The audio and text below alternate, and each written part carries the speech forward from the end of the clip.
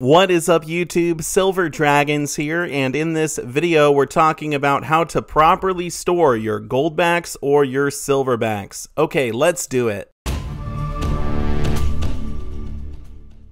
Thank you so much for watching my video. I do sincerely appreciate it. Real quick, if you don't know what the goldbacks are, they are a hyper fractional gold currency. They are made out of pure 24 karat gold.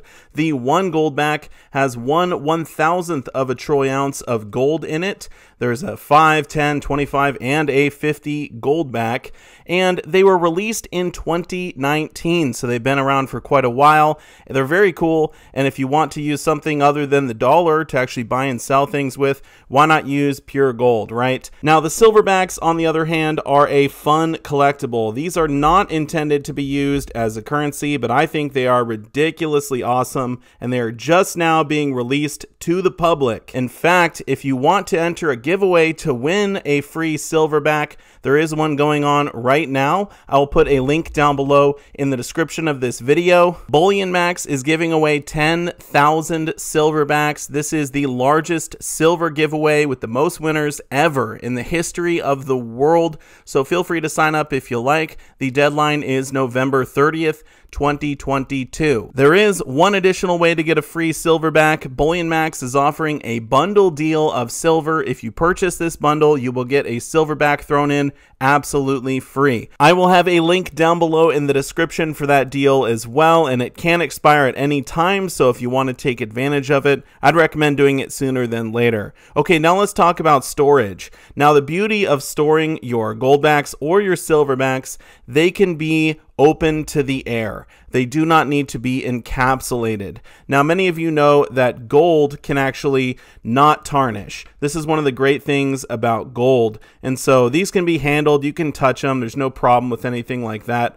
Well, the same is actually true for the silverbacks as well because they have a proprietary coating on them. So the silverbacks won't tarnish like most silver will. So those can be open to the air as well. Now, there are a few things that can damage your silverbacks or your goldbacks. You don't really want these to get bent or smashed. So I recommend storing them in some sort of a rigid container. Now this is extremely rare, but delamination can occur if your goldbacks or silverbacks are exposed to extreme humidity. So I recommend just taking a few of those packets that you get with your new shoes and throwing them in with your goldbacks and silverbacks to prevent that excessive humidity just to make sure that this is a dry place. Also, try and stay away from extreme heat or extreme cold. So wherever you store the rest of your gold and silver bullion, probably just throw this in that same safe and you're going to be just fine. Now, this really only to the goldbacks, but if you are going to be spending them, I would recommend getting some type of a large wallet. It doesn't have to be the goldback wallet.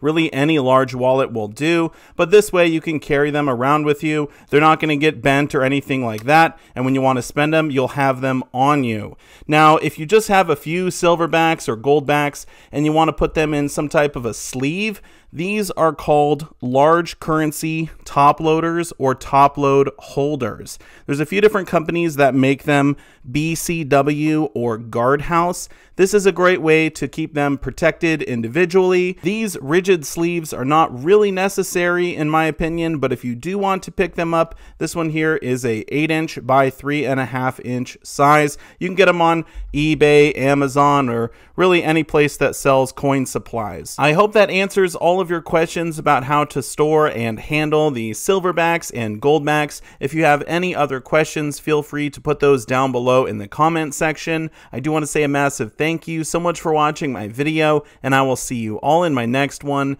Silver Dragons out.